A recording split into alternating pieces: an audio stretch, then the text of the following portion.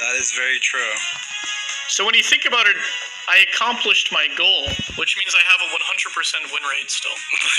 Orange Ocelots Green, holy shit. They won it. They won it because of green. Well done, lads. Salute to green. Well, that was a lot of fun, guys. That was a lot that of fun, fun. to team.